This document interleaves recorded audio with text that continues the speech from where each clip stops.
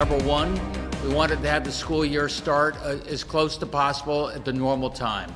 We wanted to have as close to possible a normal school day and a normal school week.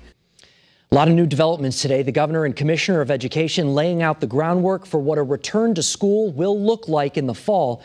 Channel 3 Eyewitness News reporter Matthew Campbell is breaking down some of the big points for us. Matthew, a lot of parents want to hear these details.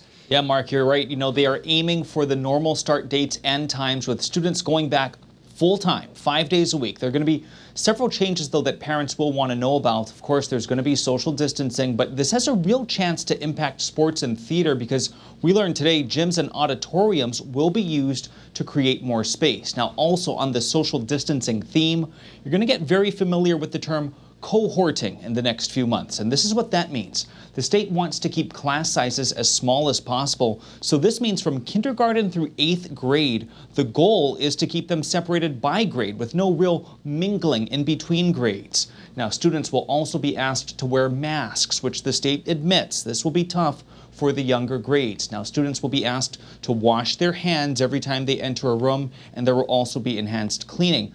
Also, it was made very clear today the virus dictates how we reopen. Right now, we're one of the best in the country, and that's why the goals are so lofty. But if things change, we could revert back to online learning in some form, maybe one week on, one week off.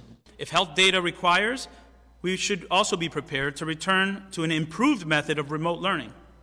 We're prioritizing the acquisition of devices, connectivity, and quality content to support these efforts.